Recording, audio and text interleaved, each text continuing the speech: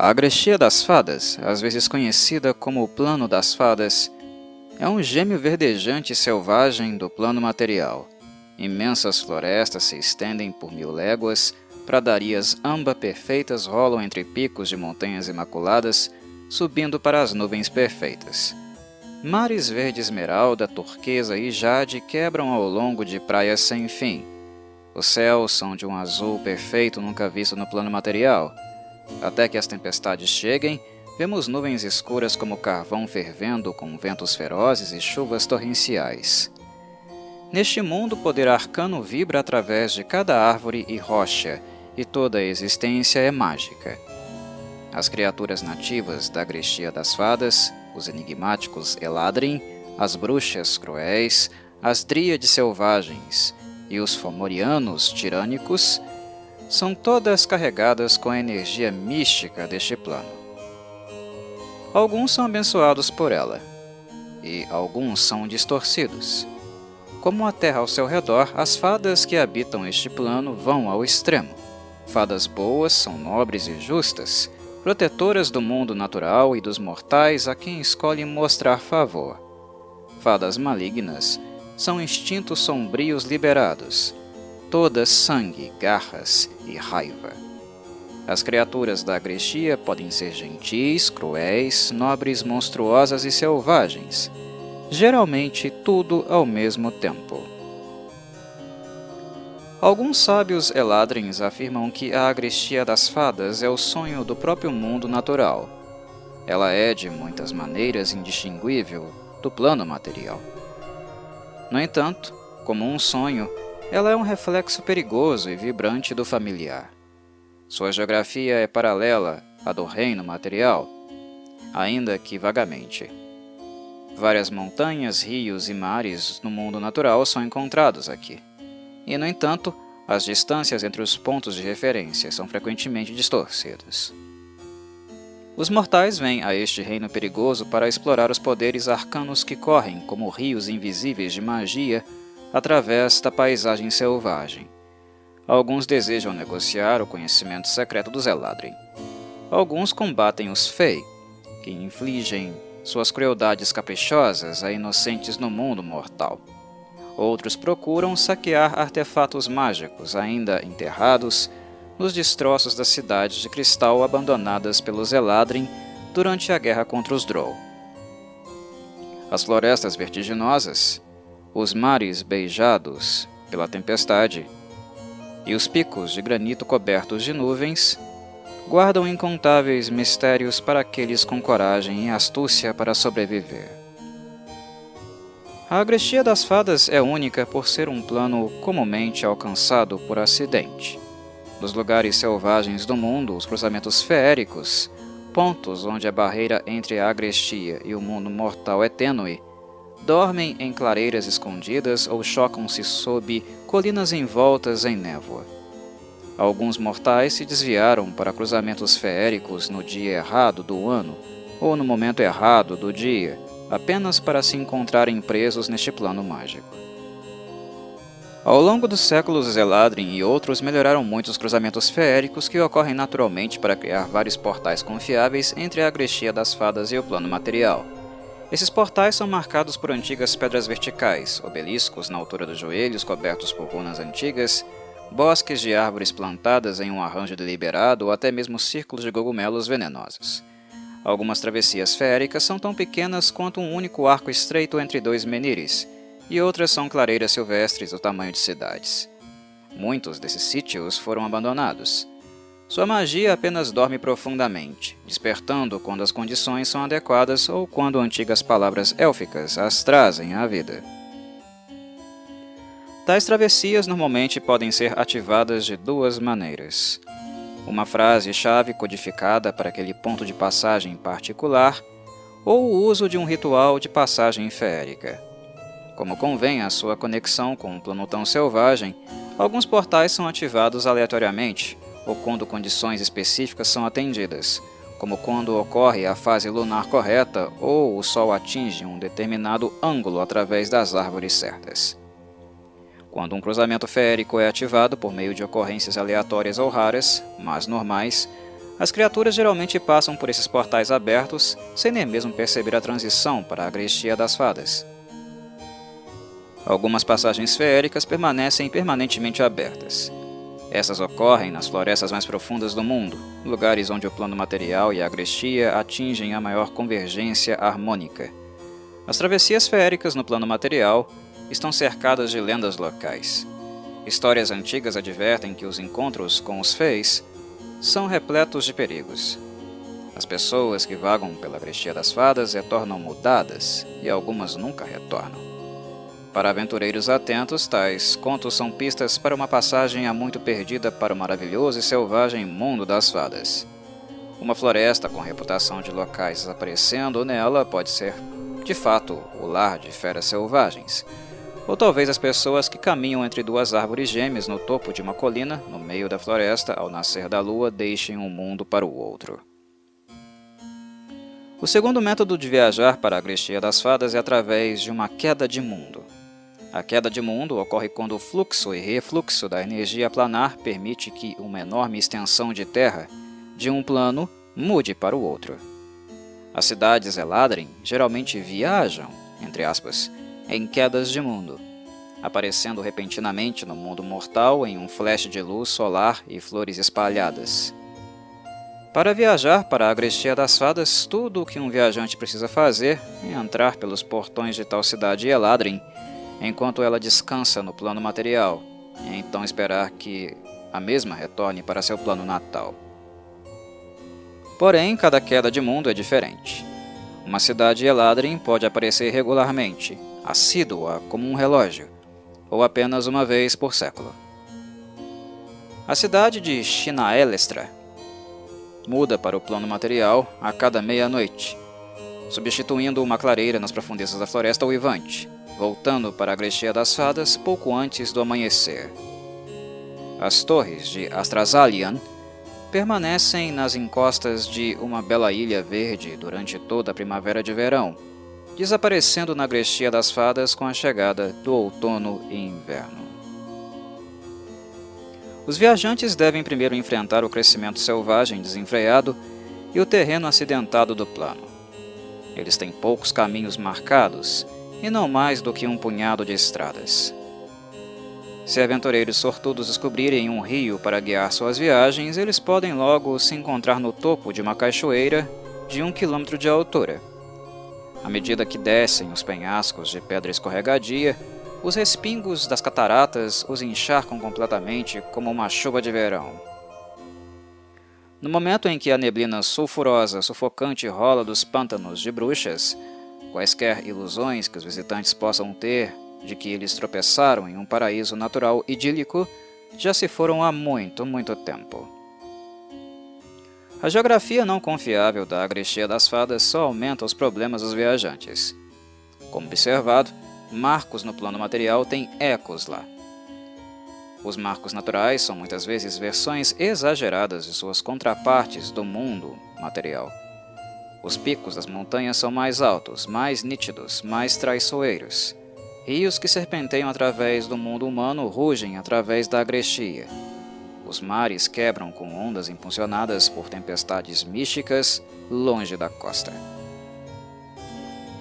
Marcos construídos no plano material, como cidades, nada mais são do que um acampamento de caça ou até mesmo uma pequena clareira nas florestas da das Fadas. Ainda mais enlouquecedor, as distâncias entre os locais podem variar dependendo da direção em que se está viajando. A viagem do posto avançado Eladrin de Aedone para outra localidade pode levar menos tempo do que a viagem desta mesma localidade para Aedone, e absolutamente ninguém que faz a viagem pode explicar a razão disso. Forças poderosas estão trabalhando aqui, lutando pelo domínio do plano. As arquifadas Eladrin não hesitam em usar intrusos infelizes como peões em suas complicadas intrigas da corte. Os próprios nobres Eladrin estão envolvidos em uma rixa sem fim contra os senhores de Feydark, o subterrâneo férico, os gigantes fomorianos de olhos malignos. Enquanto essas raças batalham, seres de planos mais exóticos executam planos complexos para usurpar o controle da fonte ilimitada de energia mágica da Agrestia. Deixando de lado os perigos representados pelas criaturas, os recém-chegados também devem lidar com novas e impressionantes experiências sensoriais. A presença tangível da magia é diferente de tudo já experimentado no plano material. As flores exalam perfumes que encantam os humanos incautos, e o fedor do mar das trevas pode subjugar o guerreiro mais resistente. A poderosa magia que permeia todo o plano torna tudo, por falta de uma palavra melhor, intensamente real. Os nativos chamam esse efeito de beleza brilhante. As cores são mais vivas, os cheiros mais pungentes. A luz não se espalha como deveria. Cada visão, som, cheiro e sabor tem uma borda mais nítida. Tal como acontece com a maioria das coisas, este efeito pode ser uma bênção e uma maldição. Um simples feixe de luz solar pode parecer uma escultura divina de luz cintilante, enchendo o observador de inspiração. Mas as sombras profundas das masmorras fomorianas são igualmente vívidas e, portanto, levam um aventureiro perdido a um pânico alucinante. A beleza brilhante tem um efeito adicional nas criaturas sencientes. O sangue responde ao encantamento da grestia das fadas. Assim como as criaturas nativas incorporam extremos de paixão e poder, os visitantes começam a se comportar como versões puras e verdadeiras de si mesmos. Heróis corajosos se tornam imprudentes, amigos se tornam amantes e rivalidades se transformam em brigas de faca.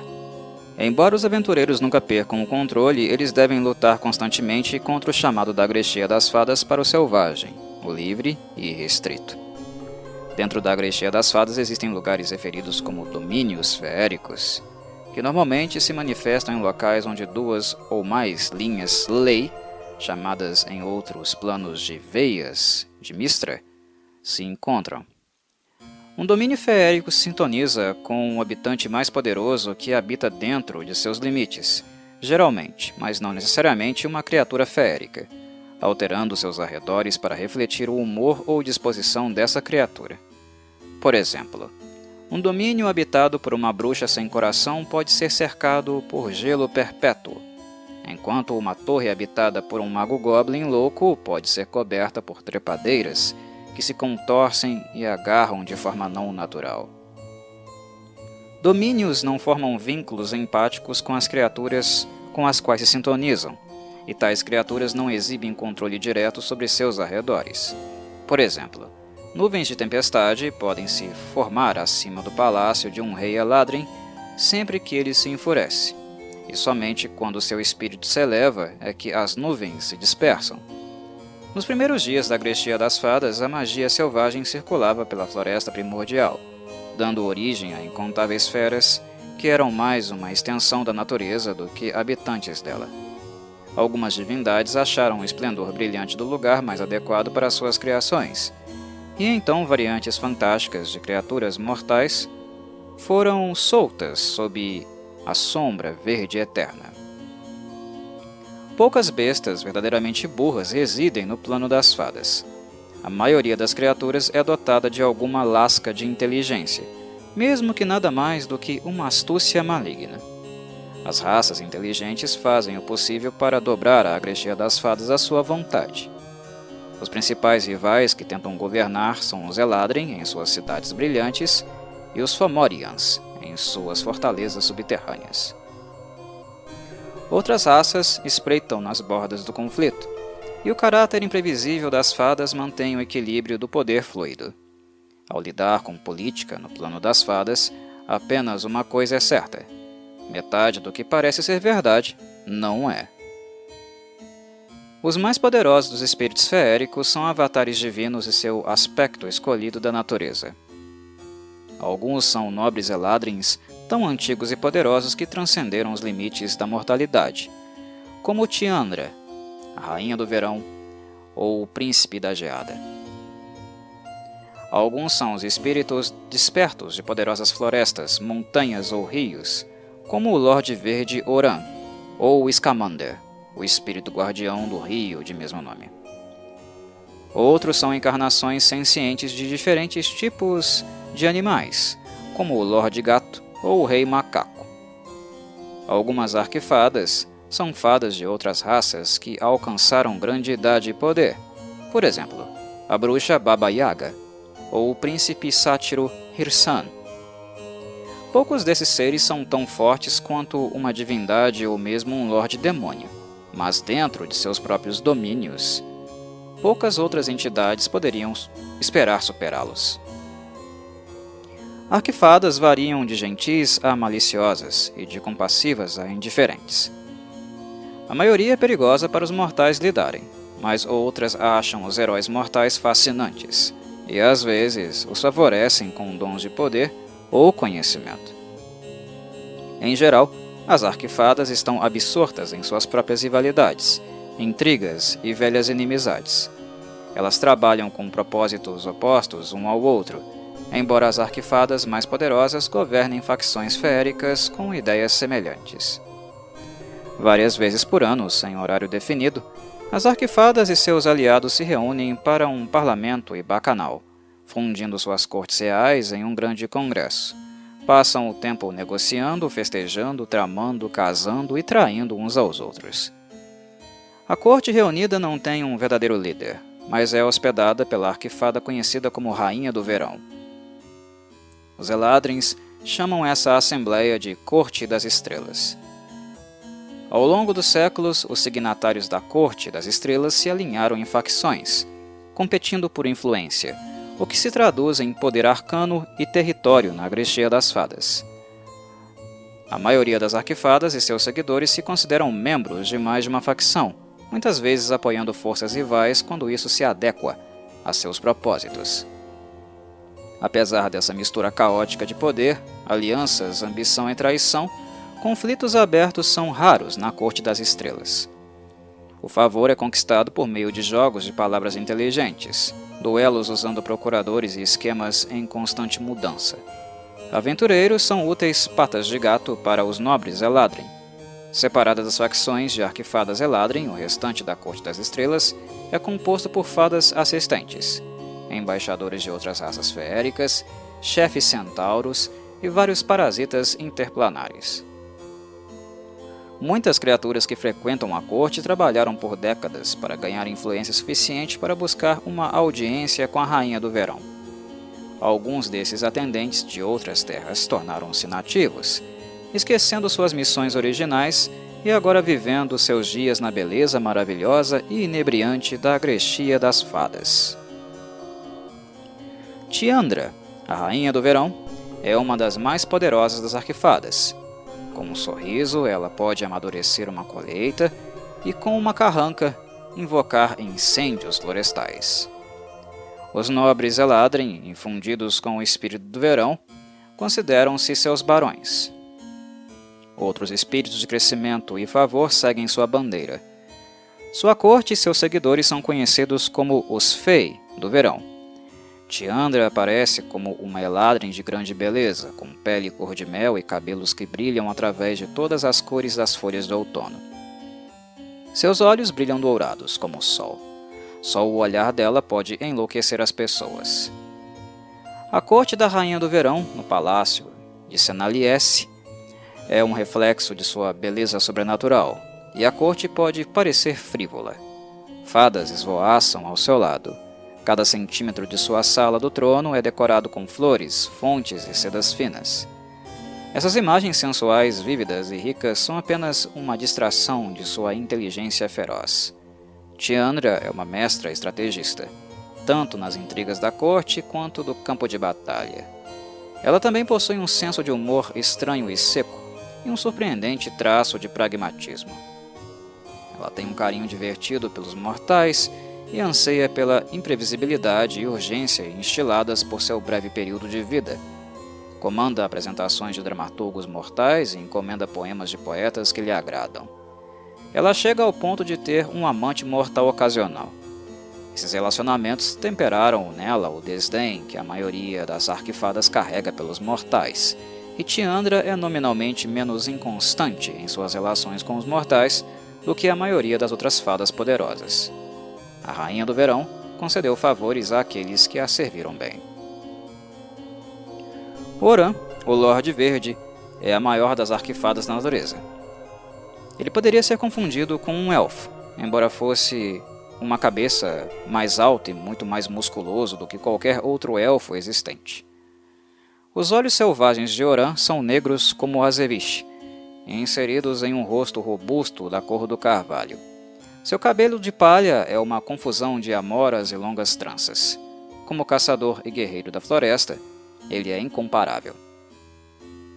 Disse que até o deus Corellon Laretian o considera com respeito cauteloso.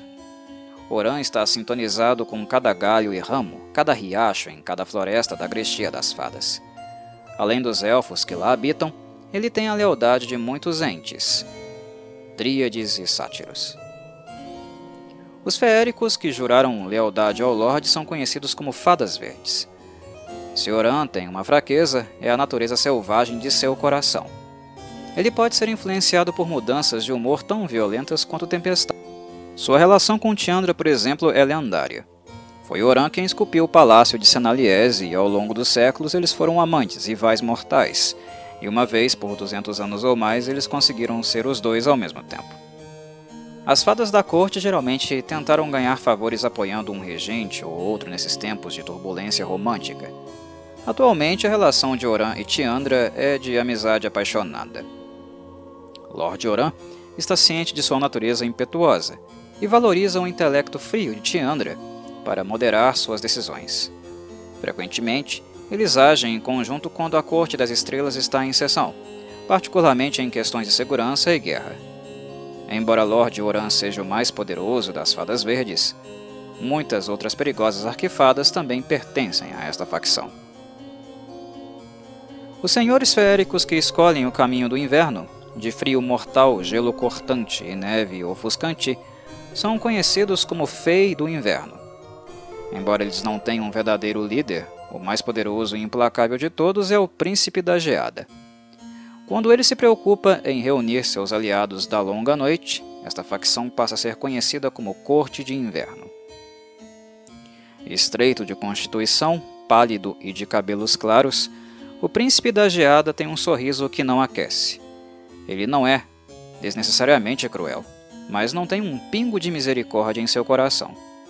Ele se alia a outras arquifadas apenas quando enfrenta as mais terríveis ameaças e prefere lidar com seus inimigos de forma rápida e cruel, com pouca consideração por danos colaterais. Por alguma razão inescrutável, o príncipe da geada despreza os mortais. Embora pareça satisfeito por agora governar suas terras na Grestia das Fadas, circulam constantemente rumores de que ele planeja congelar todo o mundo mortal em uma longa e eterna era glacial. O povo do mar e outras fadas aquáticas se reúnem coletivamente na Corte do Coral. As fadas dos rios e oceanos se curvam à vontade das arquifadas Eladrin, conhecidas como Senhoras do Mar. Elias e Siobam, Alastai, são irmã e irmão Eladrins que apenas alguns séculos atrás alcançaram um nível de poder elevando-os ao nível de arquifada. Por causa de sua elevação recente, eles são menos emocionalmente distantes do que muitas das arquifadas. Eles são, se não acessíveis, pelo menos não tão aterrorizantes, quanto muitos dos outros grandes nobres da Corte das Estrelas.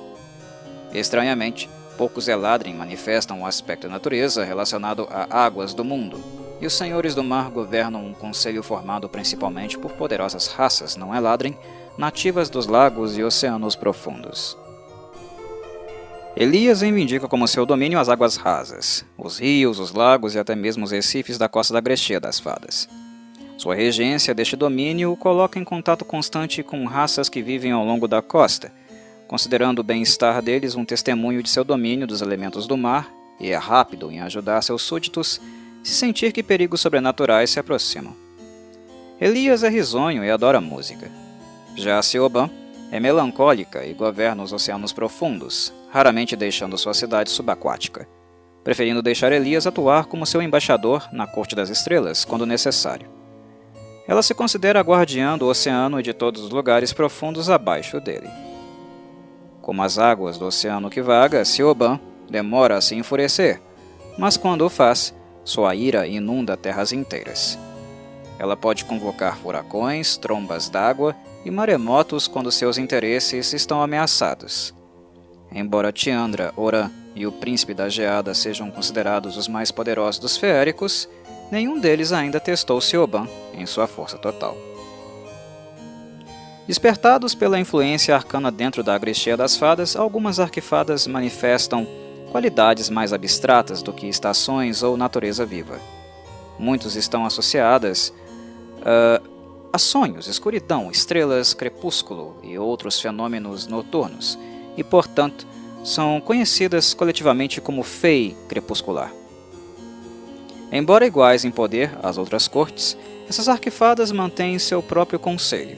Elas são compostas de uma liga frouxa, ao invés de uma facção propriamente dita. Mas quando a Corte das Estrelas está em sessão, elas se unem durante as intrigas da corte. A mais conhecida das fadas crepusculares é a Donzela da Lua. Ela é uma caçadora formidável que carrega uma espada de prata que diz ser capaz de cortar pesadelos. A Donzela da Lua trava uma guerra particular contra licantropos e outros assassinos selvagens, e é considerada benevolente com os mortais. Embora tenha muitos acampamentos de caça na Grestia das Fadas, um em particular é um portal para seu próprio santuário particular na Lua, brilhante acima. O Príncipe de Copas é uma arquifada Eladrin dedicada aos princípios da beleza, galanteria e amor. Ninguém pode ser muito cuidadoso com ele e é conhecido por conceber bênçãos a qualquer um que o ajude a unir verdadeiros amantes separados pelas circunstâncias. Em outras ocasiões, o fogo do amor não correspondido combina melhor com seu aspecto. O príncipe de copas às vezes se intromete na vida dos mortais que acredita que deveriam estar apaixonados, tentando uni-los. Se o par infeliz não gosta um do outro, ele acha a tentativa ainda mais agradável. Uma arquifada mais sombria afiliada a esta facção é a Bruxa do Destino, um oráculo poderoso cujos pronunciamentos significam a desgraça.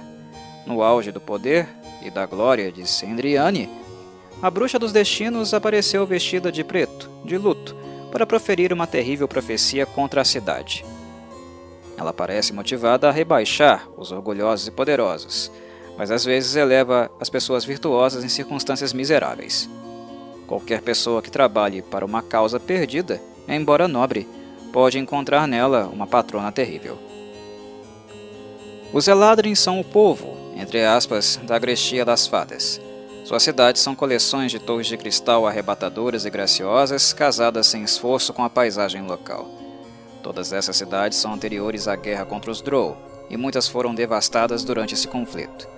Os Eladrins caminham entre corredores e avenidas antigas repletas de milênios de história silenciosa. Eles estão, em grande medida, assombrando suas próprias cidades, e só na história recente passaram realmente a tentar recuperar algumas dessas metrópoles destruídas. No entanto, o reparo e o reassentamento são desiguais. As torres de Astrazalian estão mais altas do que nunca, mas Sendriane continua sendo uma melancólica ruína. Cada assentamento é uma cidade-estado por si só, porque os assentamentos estão espalhados a grandes distâncias por toda a Agrestia das Fadas. As cidades tentam esporadicamente criar alianças formais, mas nenhuma delas é forte ou duradoura. Tanto as distâncias envolvidas quanto os próprios Eladrin são contrários a tais esforços. Como é comumente conhecido, a base de sua sociedade é a família estendida, ou casa. Embora a maioria passe décadas de sua juventude em uma das cidades isoladas de pedra e cristal que pontilham a sombra infinita da grande floresta da Agrestia, a verdadeira lealdade de um Eladrin é para com sua casa e seus nobres. Esses nobres, por sua vez, muitas vezes juraram fidelidade a uma das arquifadas Eladrin, mas elas são apenas monarcas titulares. Embora Tiandra seja considerada rainha por muitos Eladrins, ela governa apenas Senaliesse, e mesmo assim, governa apenas quando precisa. Firbolgs são caçadores noturnos, e os maiores entre eles são chamados de mestres da caçada selvagem. Implacáveis em sua busca por inimigos e caça, eles não hesitam em caçar outras criaturas sencientes, particularmente invasores de suas terras. Nem toda caça resulta na morte da presa pois é a própria caçada que dá sentido a essas criaturas. Seus assentamentos são pequenos e remotos, consistindo em alojamentos simples, mas defensáveis, integrados à natureza selvagem ao redor.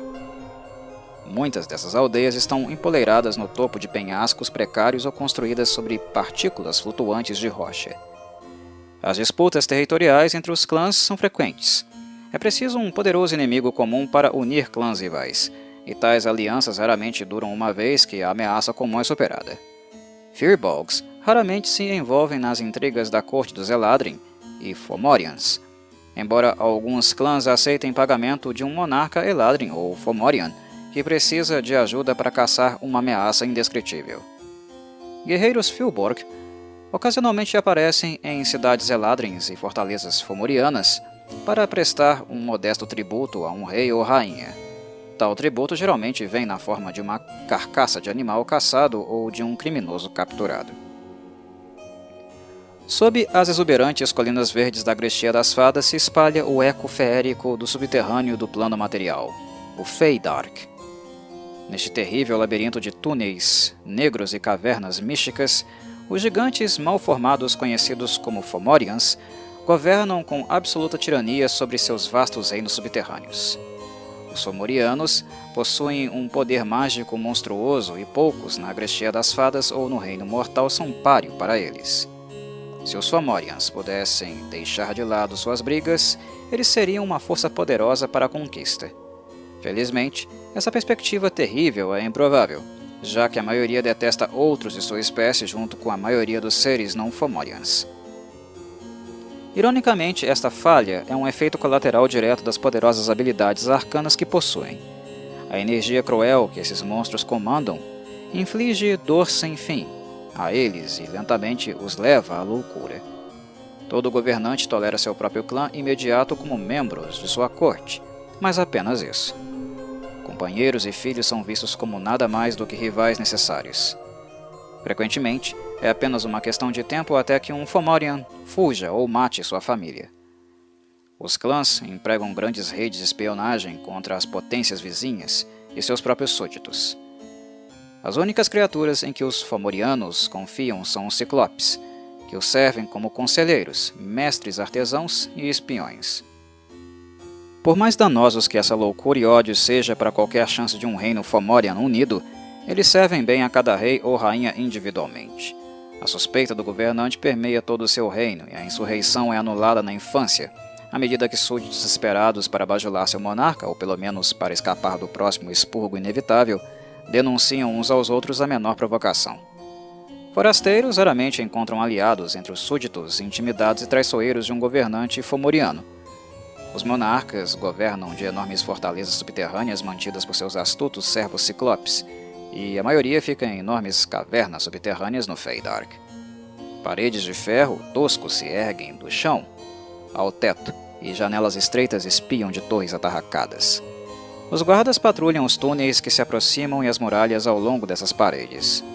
Fazendas de turfa e florestas de cogumelos, cuidadas por servos ligados ao senhor Fomoriano, cercam a fortaleza. Essa zombaria sombria das terras pastoris pode se estender para longe da fortaleza. Os Fomorianos regularmente reivindicam domínio sobre extensões de terra com 100 léguas de diâmetro, mas, para todos os propósitos práticos, eles governam apenas a área dentro de algumas horas de marcha de suas fortalezas. Dentro das muralhas de ferro da típica fortaleza fomoriana encontra-se uma cidade imunda e semelhante a um labirinto de servos e escravos. Monstros do Feidak prosperam nessas cidades, consumindo as sobras de sujeira urbana. O comércio intenso de provisões e escravos enche os mercados cercados de estalagmites, a maioria das fortalezas possui fortificação interna ou santuário guardado por muitas portas grossas de ferro. O governante do reino pode ser encontrado regendo um tribunal perverso de crueldade guardado por ciclopes fanaticamente devotados e assassinos rápidos. Embora muitos fomorianos tenham sido destruídos enquanto atacavam cidades eladrins ou viajavam pelos túneis de Feydark, poucos foram derrotados dentro das paredes de um de seus santuários. Externamente, os governantes buscam qualquer vantagem que possam encontrar, especialmente o poder mágico, frequentemente invadindo as cidades Eladrin para saquear seus cofres de itens mágicos. O monarca ocasionalmente concede passagem segura para aventureiros que possuem artefatos arcanos com os quais barganhar. Por causa de suas rivalidades, os Somorianos não têm um tribunal central organizando ou governando todos os seus reinos. A loucura que aflige os gigantes do mal significa que mesmo os reinos individuais não compartilham um caráter ou temperamento comum. Cada família governa sua fortaleza Feydark, com isolamento ciumento e temperamento extremamente variado. Goblins não são seres féricos, mas são resistentes, de reprodução rápida e bem estabelecidos nos cantos acidentados da Grexia das Fadas. Ao longo dos séculos, os exércitos goblins do plano material estabeleceram muitas fortalezas por lá. E embora poucos durem muito, os goblins que sobrevivem à queda de tais reinos perduram por gerações como tribos de bandidos sedentos de sangue e algumas acabam conquistando território suficiente para se tornarem reinos de pleno direito novamente. Senhores goblins perversos espreitam nas sombras escuras da Agrestia e aterrorizam todos os que passam dentro da distância de ataque de seus exércitos ferozes. Os goblins prontamente formam alianças com os habitantes mais sombrios, incluindo fomorianos, bruxas, druidas malignos e licantropos. Eles frequentemente entram em conflito com Eladrin e gnomos, já que os Goblin invadem os reinos desses povos sempre que podem. Os que habitam a Agrestia das Fadas muitas vezes comandam mais magia do que suas contrapartes no plano material, e muitos monarcas são feiticeiros ou magos habilidosos. Por fim, os gnomos ocupam um meio termo perigoso na Agrestia das Fadas, literalmente. Entre os Eladrin e suas torres e os Fomorians e suas fortalezas subterrâneas, os gnomos constroem suas tocas nas colinas e florestas. Esses labirintos estão escondidos entre as raízes das árvores por ilusões astutas. Os aventureiros costumam passear pela praça pública de tal assentamento sem nem mesmo reparar, para a diversão dos gnomos. Durante séculos, cada gnomo fez seu próprio caminho. Com a ascensão dos Fomorians, os conselhos perceberam que precisariam de algum tipo de cooperação entre as comunidades. No entanto, os gnomos são trapaceiros, pessoas autoconfiantes e naturalmente desconfiadas. A boa governança nunca é uma prioridade. Chegar a um acordo sobre como exatamente qualquer tipo de confederação poderia funcionar provou ser difícil, mas finalmente um conselho dos gnomos foi formado. Este é uma meritocracia pura composta pelos gnomos mais inteligentes em batalha, mais habilidosos em magia ou mais sutis em política. Os gnomos chegaram a esse sistema mais por necessidade do que por idealismo. Eles gostam tanto de discutir que todas as outras formas de república estagnaram em um debate interminável. Qualquer gnomo que realize grandes feitos pode ser nomeado para o conselho e os heróis do mesmo decidem se aceitam um indicado para suas fileiras. Muitos aventureiros gnomos no plano material tentam se estabelecer como heróis dignos o suficiente para se sentar à mesa de carvalho do conselho.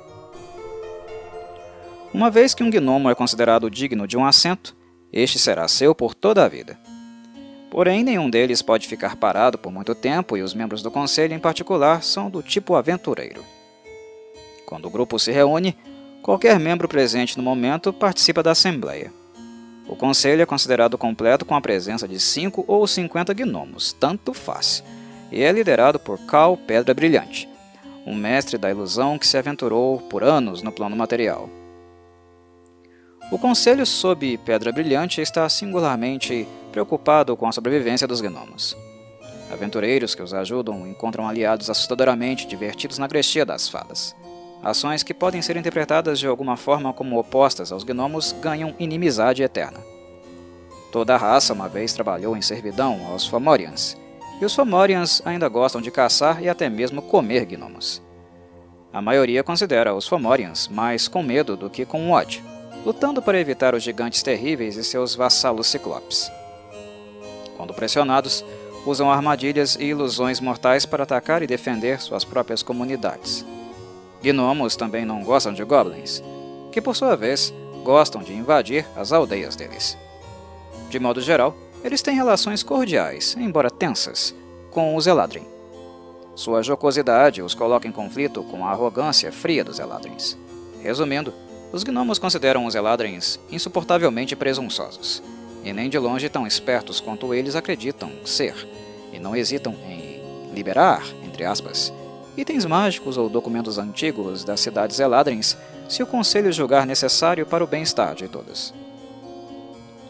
Um hábito dos gnomos, em particular, deixa Eladrins furiosos.